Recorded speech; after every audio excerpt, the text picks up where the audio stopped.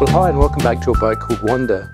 So, there's some good news and some not so good news. The good news is I've got my uh, nylon bushes, which were uh, machined up and still not cheap. They were 66 pounds for two. Um, I'll show you later on why I need the second one. But you know, it was better than hundreds and hundreds of pounds. So, and I'm happy to go to a local manufacturer. So, this is quite good. I can put this into the um, rudder stock housing um, and uh, check all that out. The not so great news is that for the rudder stock itself, I'd ordered this um, nut online. It's an M24, and I just wanted to know if the rudder um, stock had a, a, a M24 size um, thread on it because I measured it up and it was about 24 millimeters. So anyway, I bought this, tried to get it on. Um, the thread isn't great, it's a little bit burred, so of course I need to clean up the thread, but even still, it just wasn't going onto this. So when I went to collect these bushes, I also took the rudder stock down on this and showed the guys down there. They think it's a one inch Whitworth, not a 24 metric. Um, so I'm just waiting for them to call me back with a price to make a castle nut for that and also to clean up um, the thread. So that's fine, but the only problem is it's going to take them three weeks to do that. Um, it took them three weeks to do these, you know, so they are pretty slow, but it's just the nature of the industry, you know, little jobs like this, you get pushed to the back of the queue and you just have to wait. So what it means is I can't put everything together this time, which is really what I was hoping to do. I thought this would be it. Now, first up, let's go and take a look at that um, transducer housing to see if it did stick in, and I'm sure many of you are wondering if it's going to come out or not. I'll let you in on a secret. I actually got Rob to knock it out the day after because um, what I found is that if you leave something in there for a couple of weeks and there's a little bit of resin holding onto it, it really binds hard. But if you knock it out within 24 hours, it's a little bit more tolerant. So let's go take a look at that. Okay, so it ain't pretty, but um, it's a good foundation which I can build on. So there are a couple of places where it's a little bit thin. Not sure if you can see that. There's little, like little gaps here, and there's a ridge around the edge of uh, this, which I need to fix. So I think I'm just going to get rid of this ridge, um, put some more filler in, and, and pop this in a, again, um, and maybe just sand around here to widen the gap a little bit. Right, let's do it. Let's fill up this part here first. There's a little bit of a crack there. So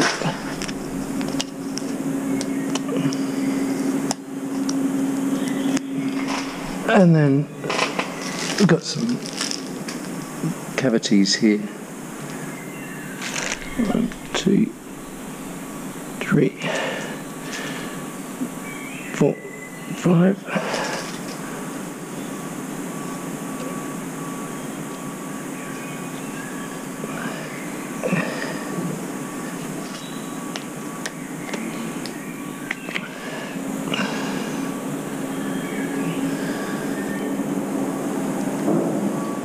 Okay, well, I guess I'll let the housing itself um, do the job to find the, the flat spot. There's one there, I can feel it.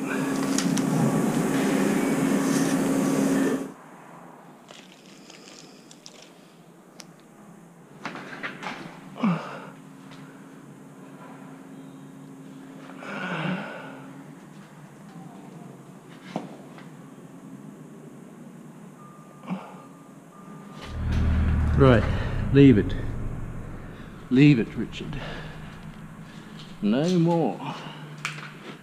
Well, one thing that I can get on with is just um, cleaning up this rudder a little bit and uh, getting the old sander out, taking off a little bit of the old anti-fouling, just doing a little bit of preparation.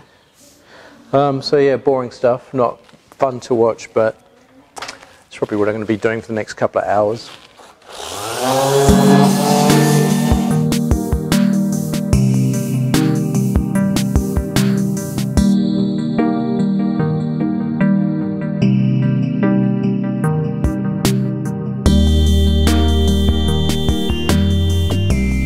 Well, you're going to be surprised to hear that uh, this is all I've got time for and I'm actually wrapping up.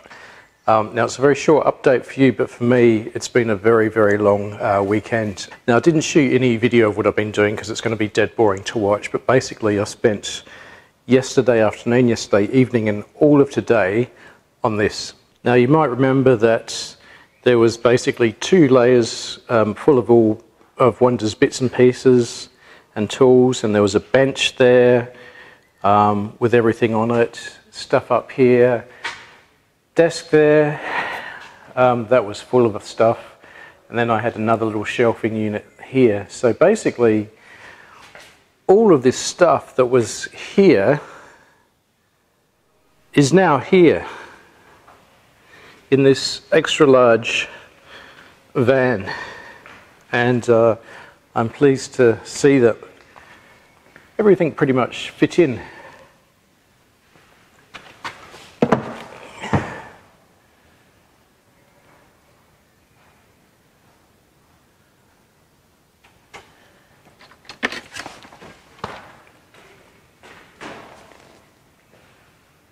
Now, unfortunately, there's not been a lot uh, to show you in terms of working away on Wanda, um, but this is a pretty important milestone for me because it means that um, everything now I can uh, move down in that van to uh, where I live. I've got a container, a 20 foot container down there that I'm renting out, so I can put everything in that.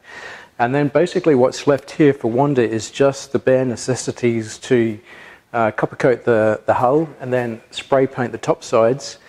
Um, and then from that point, I can move Wanda down to where I am, and I'll have Wanda uh, up on the hard, and all the bits and pieces in a in a, um, a container. So that will be a different part of the project. So a lot's going to be happening over the next three to four weeks.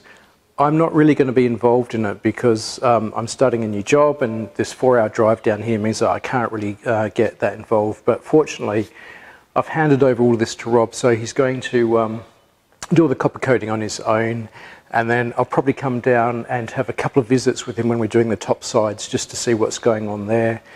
Um, and just do the final sort of clean up. There's a few bits and pieces lying in the shed still. So before I go, there is one last thing that I want to do before I head off, and that's just check that um, transducer fitting and, and tap it to make sure it comes out. So that's one thing I can show you anyway.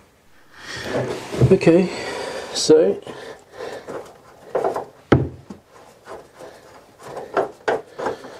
feels like something's gripping.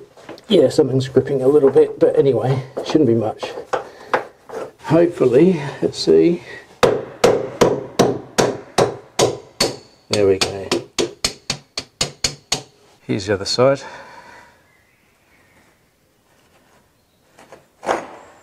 Oh great, that's really good.